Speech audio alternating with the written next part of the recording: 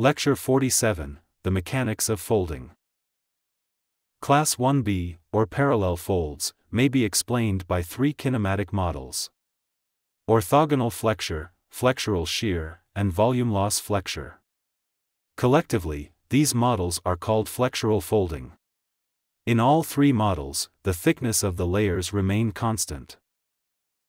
Dynamically speaking, flexural folding can result from either bending or buckling. In bending, pairs of forces that produce equal and opposite torques generate the fold. A monocline above a normal fault in basement is a good example.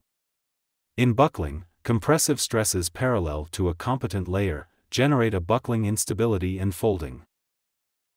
In orthogonal flexure, lines perpendicular to the layer remain so after folding. There is lengthening of the convex side of the fold, and shortening of the concave side of the fold. This kinematic model is characteristic of folds with low curvature in competent layers. Flexural shear involves simple shear parallel to the layers. No lengthening or shortening of the convex and concave sides of the fold occurs. This is analogous to the bending of a deck of cards. Material on the convex side of a shear plane moves toward the fold hinge, and vice versa the magnitude of shear decreases towards the hinge and is zero at the hinge. Volume loss flexure involves the formation of class 1b folds by the gradual removal of rock material from particular zones in a folded layer. Notice that this process can also form other types of folds, such as class 1c and 2 folds. The lower figure in section A shows negative photos of a fold, emphasizing layering and foliation. Section B shows the fold restored by opening it along major solution seams. The volume of material lost is indicated by the blank areas. This figure shows the strain distribution of class 1b folds formed by bending. The blue lines and points on the stereo net correspond to the hinge of the anticline, the red lines and points are the inflection line, and the green lines and points are the hinge of the syncline. Figure A is the undeformed layer.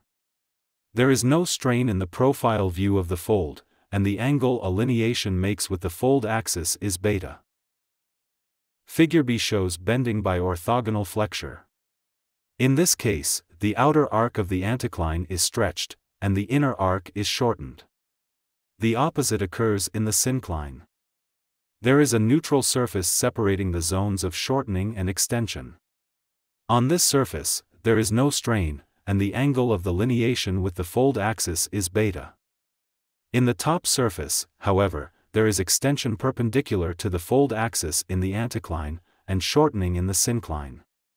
Also the angle the lineation makes with the fold axis varies, from beta A, at the anticlinal hinge, to beta L, at the inflection line, to beta S, at the synclinal hinge. Figure C shows bending by flexural shear. The strain ellipses on the profile view indicate maximum shear at the inflection line. The shear is towards the anticlinal hinge and away from the synclinal hinge. The shear is zero at the anticlinal hinge and synclinal hinge. The surface of the layer has not strain. This is because the layer has not been extended or shortened. The angle the lineation makes with the fold axis is beta. Bending by volume loss flexure results from solution along seams, concentrated on the concave side of the fold. Thus the layer is shortened in a direction normal to the hinge on the concave side of the fold, whereas the convex side undergoes no strain and forms a neutral surface. On a layer surface, the anticlinal limb shows no strain, while the concave synclinal limb shows shortening perpendicular to the fold axis. The angle the lineation makes with the fold axis is beta at the anticlinal hinge, and at the inflection line. This angle however is reduced to beta s at the synclinal hinge. This figure shows the strain distribution of class 1b folds formed by buckling. The blue lines and points on the stereo net correspond to the hinge of the anticline, the red lines and points are the inflection line, and the green lines and points are the hinge of the syncline. In buckling, the layer is homogeneously shortened by layer parallel compression, before folding. The angle that the lineation makes with the fold axis is beta prime. Therefore, this initial strain before folding is superimposed to the strain produced by folding, due to either orthogonal flexure, flexural shear, or volume loss flexure. This means that zones that during folding experience shortening perpendicular to the fold hinge will look more shortened at the end. And zones that experience extension perpendicular to the fold hinge will look less extended at the end. Notice that for flexural shear in C, the layer surface shows homogeneous strain, but this strain is not related to the folding, but to the layered parallel compression before folding. Now, let's talk about a mechanism that produces class 2 folds. Passive shear folding, also called passive flow folding, occurs in an incompetent layer which acts simply as a marker that records the deformation, and thus exerts no influence on the process of folding. The deformation takes place by inhomogeneous simple shear on shear planes that crosscut the layer. This type of deformation is characteristic of high-grade metamorphic rocks, salt domes, and glaciers. This figure shows the strain on the profile view and surface of a fold formed by passive shear folding.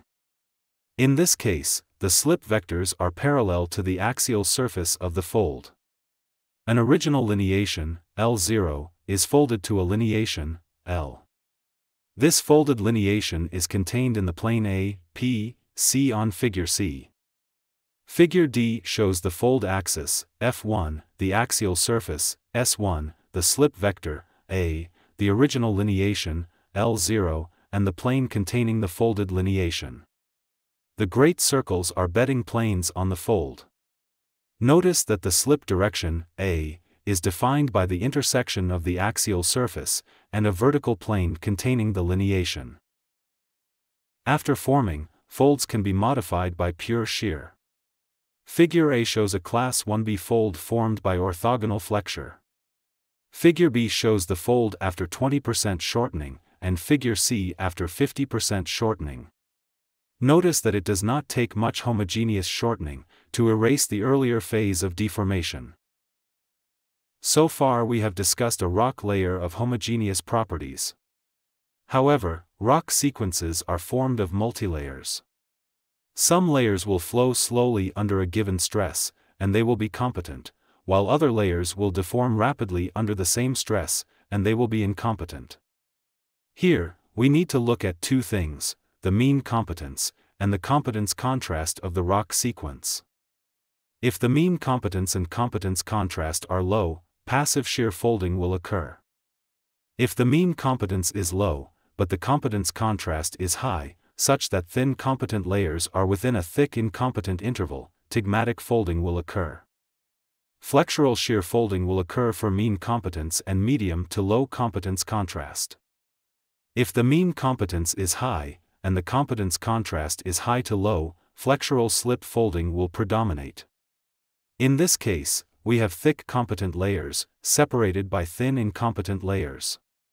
There is shear concentrated along the thin incompetent layers, between the competent layers. Figure B to the right, shows bedding planes and the lineation's orientations in a fold produced by flexural slip folding.